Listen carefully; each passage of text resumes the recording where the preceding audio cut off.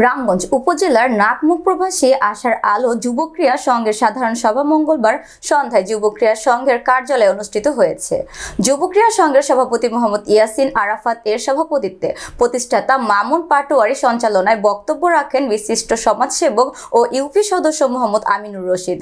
Ramganj press ক্লাবের সহসভাপতি জাকির হোসেন পাটোয়ারি, ক্লাবের সাধারণ সম্পাদক হাবিবুর রহমান, সিনিয়র সদস্য জহির মজুমদার, প্রবাসী সদস্য রিয়াজ হোসেন পাটোয়ারি, রাকিব পাটোয়ারি সহ অনেকেই।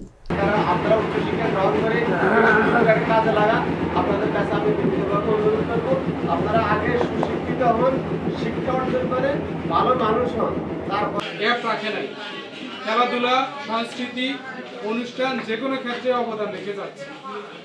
আপনারা দেখছেন যে আমাদের ক্লাবের সদস্যরা কোথাও টুর্নামেন্ট করছে বা কোনো খেলার আয়োজন করছে সাথে সাথে আমরা সহযোগিতা করছি।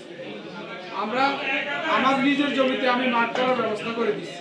এবছর করতে পারে নাই পানির জন্য কিন্তু অন্যান্য বছরও খেলাধুলা করছে আমাদের সংগঠনের সদস্য এবং যতদিন সংগঠনের সদস্যরা থাকবে মাঠের ব্যবস্থা করে দিচ্ছি খেলাধুলার ব্যবস্থা করে